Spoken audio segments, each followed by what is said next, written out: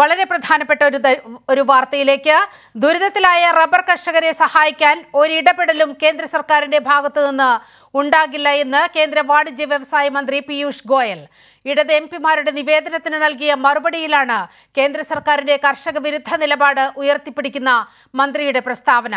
കേന്ദ്ര സർക്കാർ താങ്ങുവില പ്രഖ്യാപിക്കുന്ന ഇരുപത്തിയഞ്ച് കാർഷിക വിളകളുടെ കൂട്ടത്തിൽ റബ്ബർ ഉൾപ്പെടുന്നില്ലെന്നും മറുപടിയിൽ പറയുന്നു.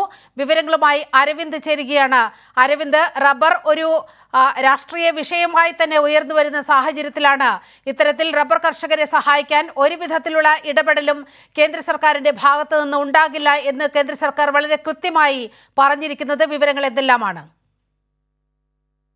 ഇറക്കുമായി ഇറക്കുമതിയുമായി ബന്ധപ്പെട്ട് കേന്ദ്ര ബജറ്റിലെ അപാകതകളും തുറന്നു കാണിച്ചുകൊണ്ടും ഈ മേഖലകളിലെ പ്രതിസന്ധി പരിഹരിക്കാൻ കേന്ദ്ര സർക്കാരിന്റെ ഇടപെടൽ ആവശ്യപ്പെട്ടുകൊണ്ടാണ് കഴിഞ്ഞ മാസം വിനോദ് എം പിമാർ കേന്ദ്ര വാണിജ്യ വ്യവസായ മന്ത്രിയായ പീയൂഷ് ഗോയലിനെ കാണുകയും അദ്ദേഹവുമായി ചർച്ച നടത്തുകയും ഒരു നിവേദനം നൽകുകയും നൽകിയിരുന്നു. ആ നിവേദനത്തിൽ നൽകിയ മറുപടിയിലാണ് കേന്ദ്ര സർക്കാരിന്റെ കർഷക വിരുദ്ധ നിലപാടുകൾ വ്യക്തമാക്കുന്നത്. പ്രധാനമായും ആസിയൻ കരാറിനെ തുടർന്നായിരുന്നു കേരളം ഉൾപ്പെടെ തെക്കിഴക്കൻ ഏഷ്യൻ രാജ്യങ്ങളിലുള്ള നികുതി ഇളവോടുകൂടി ഇന്ത്യയിലേക്ക് നിർബാധകം റബ്ബർ ഇറക്കുമതി സാധ്യമായത്. ഇതുകൂടി ഇതോടുകൂടിയാണ് കേരളത്തിലെ ഉൾപ്പെടെ റബ്ബർ കർഷകർ വലിയ വലിയ രീതിയിലുള്ള ദുരിതത്തിലാവുന്ന ഒരു സാഹചര്യം ഉണ്ടായിരുന്നു.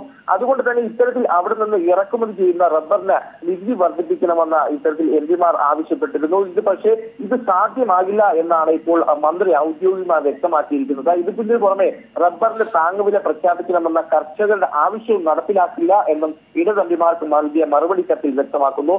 അതിൽ കേന്ദ്ര സർക്കാർ വ്യക്തമാക്കുന്നത് കേന്ദ്ര സർക്കാർ താങ്ങുവില പ്രഖ്യാപിക്കുന്ന ഇരുപത്തിയഞ്ച് കാർഷിക വിളകളുടെ കൂട്ടത്തിൽ റബ്ബർ ഉൾപ്പെടുന്നില്ല. വിവിധ മാനദണ്ഡങ്ങൾ പ്രകാരമാണ് ഓരോ വിളകളെയും തങ്ങൾ തിരഞ്ഞെടുക്കുന്നതെന്നാണ് കേന്ദ്ര സർക്കാർ വ്യക്തമാക്കുന്നത്. അപ്പോൾ ബജറ്റിൽ ഉൾപ്പെടെ കേന്ദ്ര സർക്കാർ ഈ ജനങ്ങളുടെ കണ്ണിൽ പൊടിയിടാനുള്ള നടപടിയുമായിട്ടാണ് മുന്നോട്ട് പോകുന്നതെന്നുള്ള ആരോപണം ശക്തമാവുന്നുണ്ട്. അത് ഇതിനു പുറമെ ബി ജെ പിയുടെ കോർപ്പറേറ്റ് അനുകൂല കർഷക വിരുദ്ധ നയങ്ങൾക്ക് അടിവര അടിവരയിടുന്ന മറുപടിയാണ് പീയൂഷ് ഗോയലിന്റെ ഭാഗത്തുനിന്നുണ്ടാകുന്നതെന്നും സി പി ഐ എം രാജ്യസഭാ കക്ഷി നേതാവ് ഇളമരം തെളിയും എം പി ആരോപിക്കുന്നു. നമുക്കറിയാം റബ്ബർ ഇറക്കുന്നതുമായി ബന്ധപ്പെട്ട് വലിയ രീതിയിലുള്ള പ്രതിസന്ധിയിൽ കേരളത്തിലെ കർഷകർ ഉൾപ്പെടെ നിൽക്കുന്ന ഒരു സാഹചര്യം ഉണ്ടായിരുന്നു. ആ ഒരു സാഹചര്യത്തിലാണ് ഇപ്പോൾ കേന്ദ്ര സർക്കാരിന്റെ ഭാഗത്തു നിന്ന് അവരെ ഒരു തരത്തിലും സഹായിക്കാനാകുന്നില്ല ആകില്ല എന്ന നിലപാടിലേക്ക് കേന്ദ്ര സർക്കാർ ഔദ്യോഗികമായി സ്ഥിരീകരിക്കുന്നത്. ഇതുമായി ബന്ധപ്പെട്ടുള്ള കത്താണ് ഇപ്പോൾ ഇളവരം തെരുവിൽ നമ്പിക്ക് പിക്ക് മറുപടിയായി കേന്ദ്ര സർക്കാർ നൽകിയിരിക്കുന്നത്. റബ്ബറിനെ താങ്ങുവിലയിൽ ഉൾപ്പെടുത്താൻ സാധിക്കില്ല.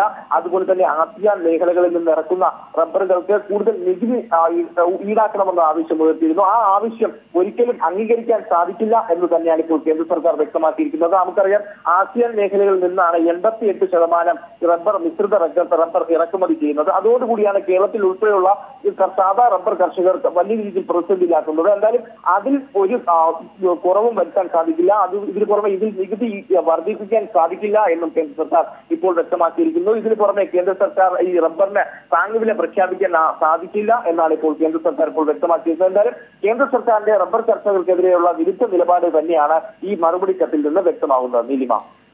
റബ്ബർ കർഷകരെ സഹായിക്കാൻ ഒരിടപെടലും കേന്ദ്ര സർക്കാരിന്റെ ഭാഗത്തു നിന്ന് ഉണ്ടാകില്ല എന്ന് കൃത്യമായി കേന്ദ്ര സർക്കാർ ഇടത് എം പിമാരെ അറിയിച്ചിരിക്കുകയാണ്. വിവരങ്ങളാണ് അരവിന്ദ് പങ്കുവച്ചത്.